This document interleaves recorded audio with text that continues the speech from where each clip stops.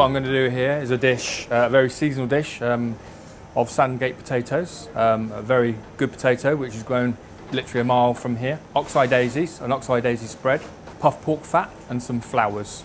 We start off the plate with a, a spread made of oxeye daisy flowers, the whole thing.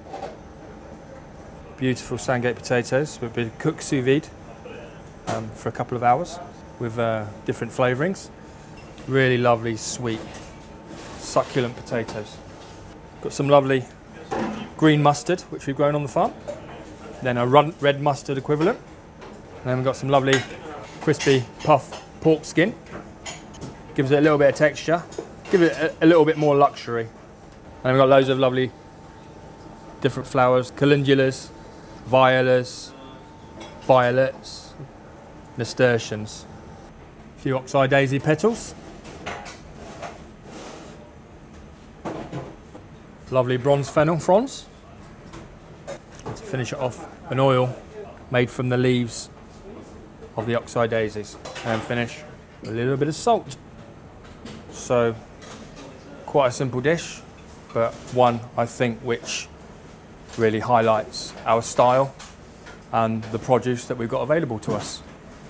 Next up, um, probably one of our specialities, uh, Valley venison in charcoal oil with mustard and fennel. We start off on this Cumbrian slate with a bit of caper jam. We just spread a little smear of that. Gives it a nice twang, a nice uh, fruity element to it. Some raw venison, um, which is um, from, from our own valley, so just down the road. So with that, we mixed some salt, um, some uh, Tabasco, um, and a little bit of coal oil. The meat is very tender because it's not cooked, but it gives off the sensation of being cooked because of the charcoal flavour. So it's quite a unique sensation.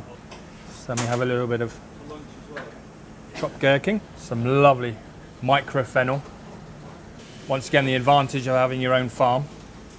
You, know, you can pick things as small or large as you want them. And then we've got some shallot rings, along the lines of a, a traditional tartar. And then we've got the really unusual part, which are candied fennel shots, which give it a lovely texture, but also a massive hit of fennel. Fennel shoots. All our herbs that we put onto the plate are growing. It's the ultimate of freshness. And it tastes absolutely amazing. And then we put in some gaps, little dollops of mustard mayonnaise. Adds to the hotness of the Tabasco and the venison. Gives it a bit of a kick. And we finish it with a little, a little bit of smoked salt. And finally, a couple of drops of the coal oil on top. There we go.